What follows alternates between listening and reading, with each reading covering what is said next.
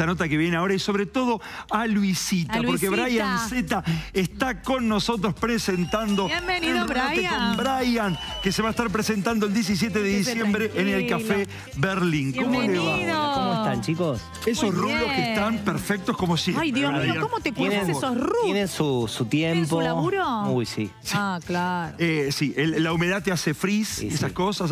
Tiene su tiempo. La verdad que me lleva tiempo estar como Valió la ven ahora. pena. Valió la pena, valió la pena y los chicos lo disfrutan mucho. Productos, cremas, todo acá. Todo ahí.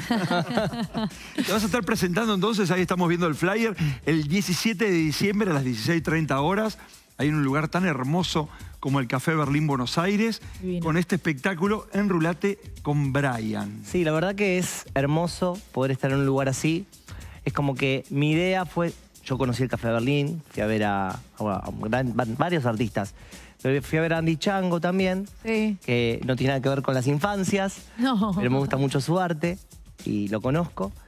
Y cuando vi el lugar, dije, esto es perfecto. Ideal. Porque es un bar de copas, es un bar para ir a la noche, ver tu banda que te gusta, Exacto. pero pedirte un trago, un martini, un, un whisky.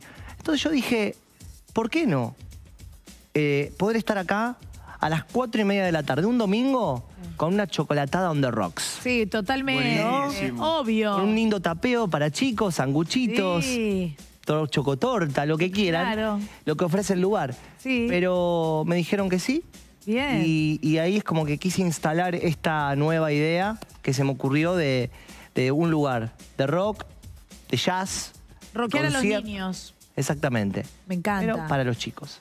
Y con un invitado muy especial, evidentemente, el gran Carlos Gianni. Exactamente. Con él tengo un amor muy grande.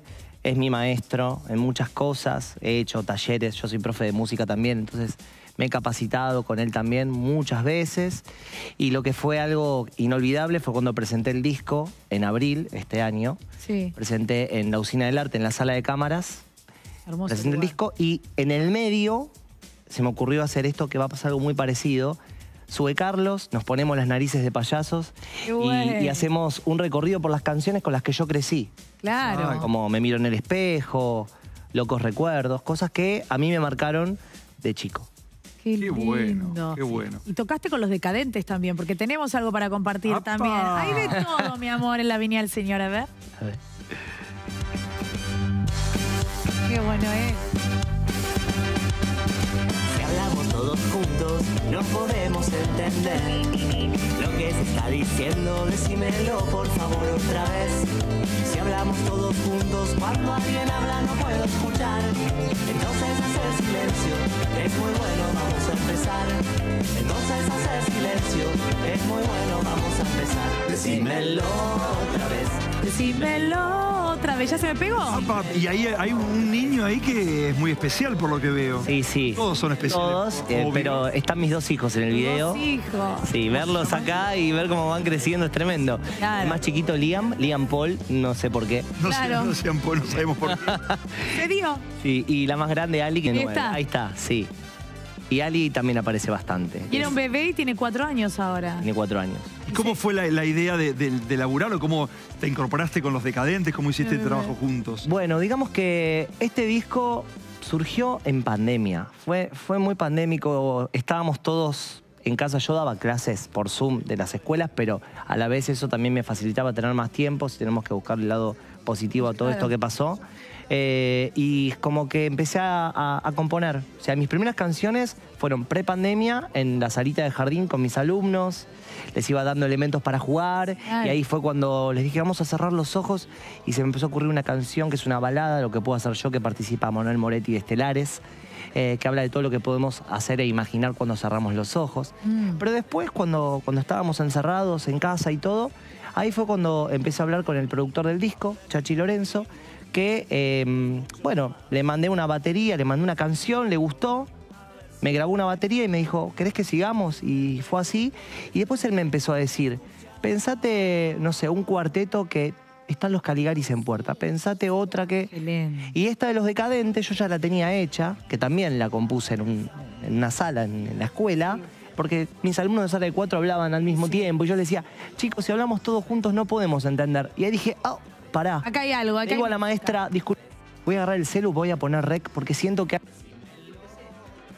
hablamos Claro. todos juntos, no podemos. Y después la- le di forma en casa. Claro.